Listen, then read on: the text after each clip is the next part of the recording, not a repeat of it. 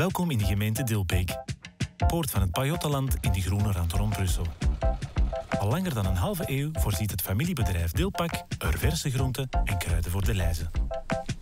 Vandaag zoomen we in op de pittigste, de knapperigste en de knapste smaakmaker van hen allemaal. De radijs. Wij werken met de lijzen al samen sinds 1958. In de schaduw van Brussel zijn wij zo een van de enigen die nog overblijven met de radijzenteelt.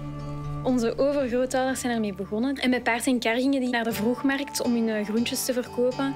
Zo zijn die beginnen te leveren aan de lijzen. En samen met eh, mijn neef, mijn zus en onze ouders zijn we dit nog steeds aan het verder zetten. Als kinderen zijn wij hier opgegroeid bij onze grootouders. Wij mochten hier ravotten in de serres. Wij leefden eigenlijk tussen de, de radijzen. We speelden, we zaten op onze knietjes. We maakten samen plezier. Dus vandaar denk ik dat we wilde microben te pakken gekregen hebben. De rode radijzen en de witte kopjes van Deleuze zijn dus al generaties in goede handen. Ze maken deel uit van de kogelwassen en hebben verrassende eigenschappen. Radijsjes zijn gewoon heel gezond, boordevol vitamine C, veel antioxidanten.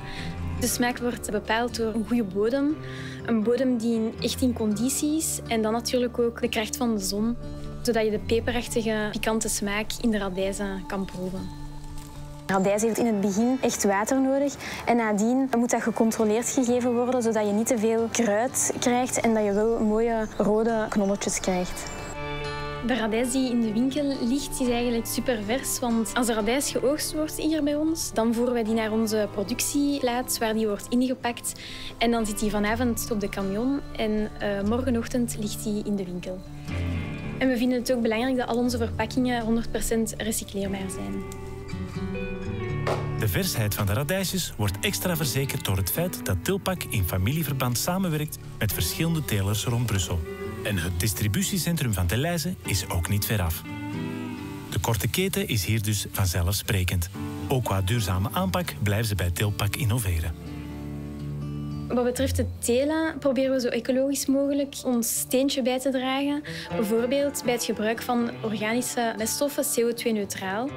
Het regenwater vangen we op in, uh, in silo's en nadien gebruiken we dat om de planten te besproeien. We werken ook met een eh, klimaatcomputer. Die is gekoppeld aan een weerstation buiten op de Serres.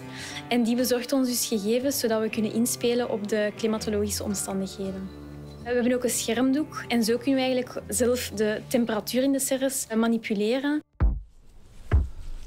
Veel mensen gooien eigenlijk het kruid van de radijzen weg, maar je kan daar echt heel lekker soep van maken. Een boterhammetje met platte kaas, wel peper en zout. Uh, en dan een glas geuze, bier van de streek. Dat is echt wel een topper. Voor wie van een dosis gezonde en frisse pittigheid houdt, is het watertanden. Als tussendoortje of verwerkt in een gerecht als smaakmaker. 100% vers, 100% smaak, 100% Belgisch. Lees er meer over op deleize.be.